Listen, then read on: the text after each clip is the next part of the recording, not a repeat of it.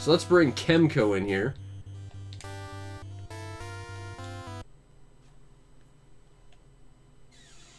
Whoops. Rescue the Embassy Mission. This game's kind of an anomaly to me.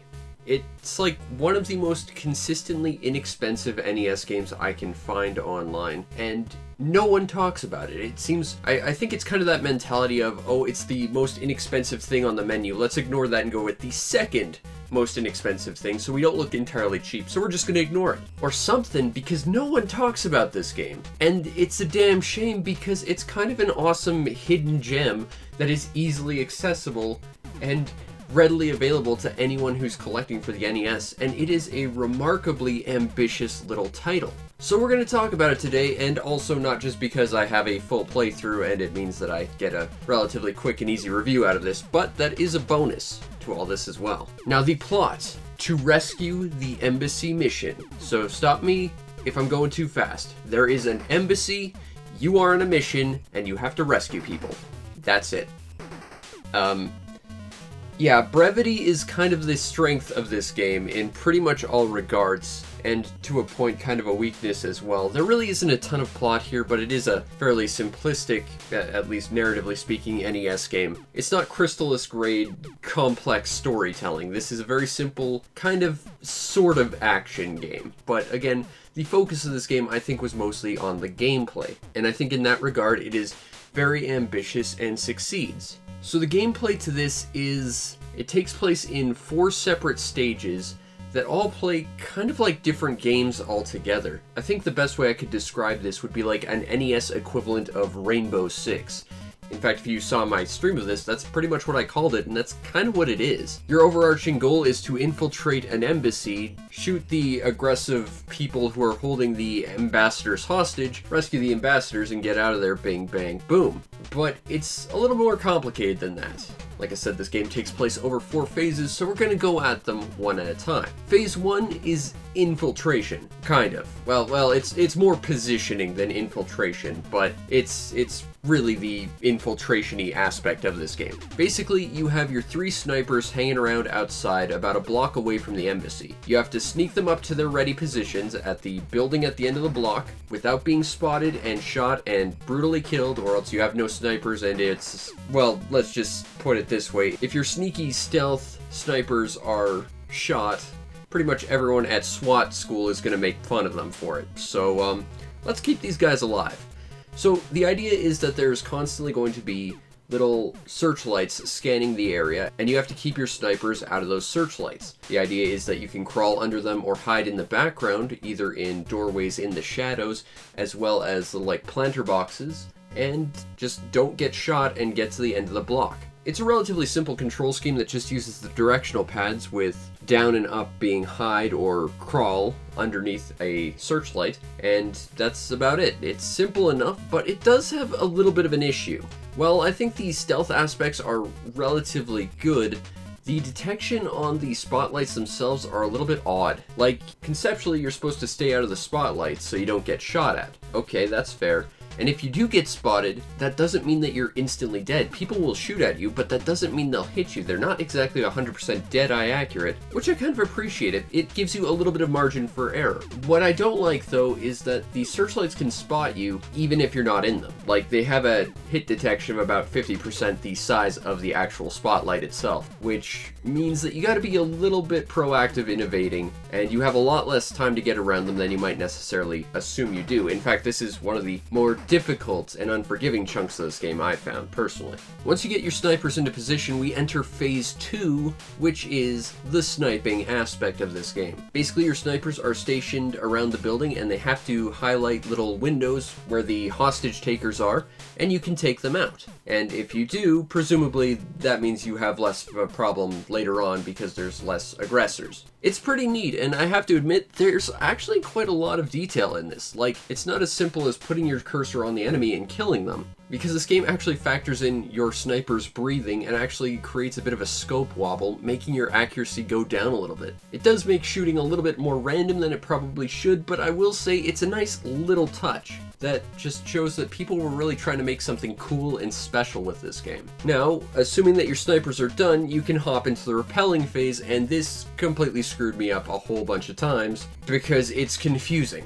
To repel, you have to press down, but if you press down too much, you repel too quickly and you fall to your death, and you leave a rather unflattering paste on the sidewalk.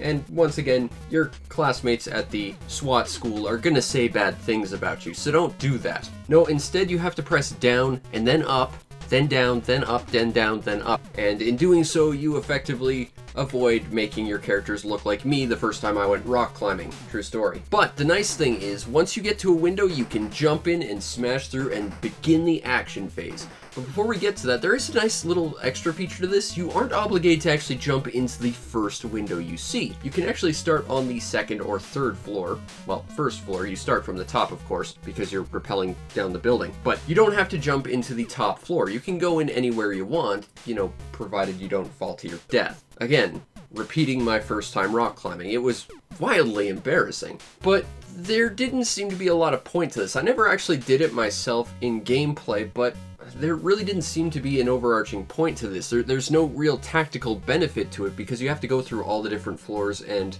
empty out every aggressor anyway. So there's not really a reason to. You can do it though, which is kind of nice. Anyway, You've now activated the fourth phase, which is the tactical combat phase, which is third-person shooting mode. Yeah! Basically, you go room from room, hallway to hallway, tracking the map to figure out exactly where your opponents are, presumably on a map that's updated by visuals from your snipers in real time. This game was made in the 80s. What the hell? Uh, okay.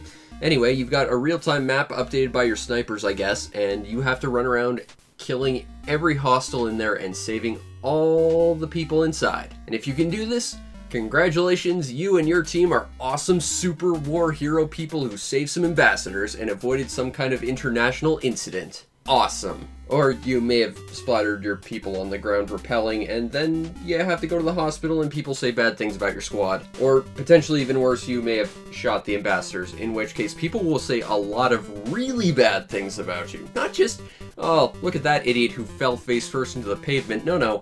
Look at that guy who completely did the opposite of his job. That's, uh, you're probably not going to be asked to do any more squad infiltrations with a SWAT team anymore. That would be unfortunate, so let's avoid that outcome, shall we? And um, that's the game. It's it's really more like four really short mini games that all play completely different but act as a unified whole game, and I love that. But now we kind of go back to the start about how this game's biggest strength is its brevity and in this case its weakness. See, that's that's it. That's the one level. This game only has one level. When you start the game, you have multiple difficulties and other augmentations and ranks you can select for your characters, which basically just adds more enemies and makes it harder to win, but it's the same level over and over. When you walk your snipers to the end of the road for every character, it's going to be the exact same building, even though I assume it's supposed to be like one block on each side of the building or something when you go and snipe people, it's to be the exact same thing. It's not to be like, well, some of the windows are blacked out and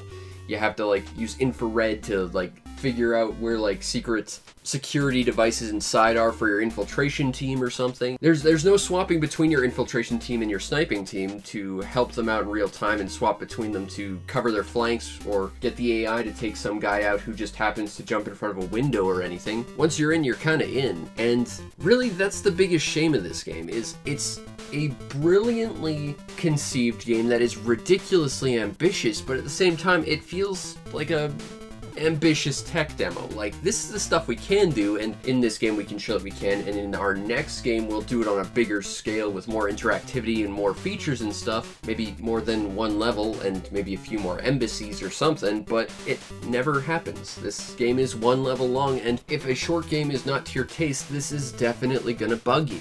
But that said, even though it's not a particularly long game, the experience and every individual bit of it is very enjoyable and it doesn't wear out its welcome. Welcome. But because every chunk of this game is very short but also very uncomplicated, it doesn't end up feeling very, very samey. I think as it is, if this game was stretched out any longer, it would definitely wear out its welcome. It'd be like every different phase of this would feel like the previous ones. They kind of understood that they only had so many features and mechanics and complications to its design, so they kept it short. And while it means the game itself is not going to be very long, it is still a fun and enjoyable experience. And it's relatively well polished, again, barring those weird spotlights and the kind of awkward, unexplained controls for repelling.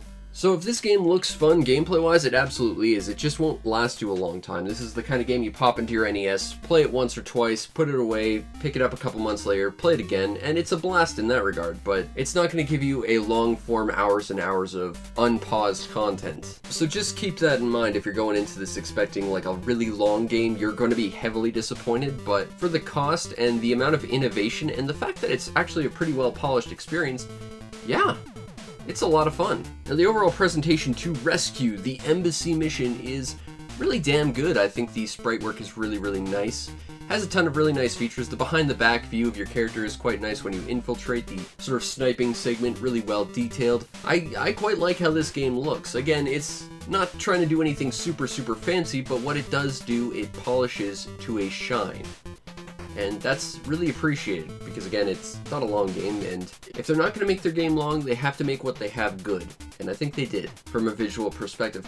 Audio wise yeah, it's it's not bad. I remember thinking the Music Tea infiltration scene was really quite nice, although it's not something that's going to be terribly memorable. I mean, I'm talking about it right now, and I remember saying to myself, you know, this this infiltration third-person shooting mode, this is some great music, but honestly, I'm having trouble remembering what that actual tune was. I'm gonna have to boot up my copy again just to listen to it again, but it was really, really good. Just not super memorable. Overall, the presentation is, I'd say it's good, definitely, but it's it's not like top-tier NES amazing.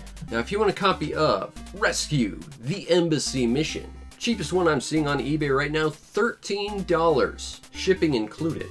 Like I said, this game isn't super expensive and it's readily available and I'm genuinely shocked that not more people talk about this because it is a great, fun little game. It's it's not an earth-shattering time. It's not a super long game. It's it's not going to completely envelop your life in its amazing story and gameplay or anything. But you know what? It is a damn ambitious game with multiple modes of play that actually work really well together to tell a giant cohesive story about your squad and the embassy they're trying to rescue. I think this is a great game, and if you're trying to collect NES games, well, this one's readily available. No one talks about it and it is kind of a gem. And if nothing else, it's an interesting game that's readily available to fill out your collection. If you're looking for NES games, if you're looking for interesting NES games that are ambitious and fun, look no further than Rescue the Embassy Mission. Just, you know, maybe practice some rock climbing first. It's, it's all I'm gonna say. It was embarrassing and you don't want to repeat that. Trust me, I, I had to do that in front of my whole high school. It was bad. Don't do it in front of your SWAT squad. That's even worse. Then the terrorists make fun of you. I mean, who wants that? Even even their hostages are gonna sit there and make fun of you. It's just just practice some rock climbing while you play this game. So fun story. Kemco fell to his death. the sad thing is that was pretty much exactly what my experience with actual uh, repelling was like. It would be nice to actually understand. Well,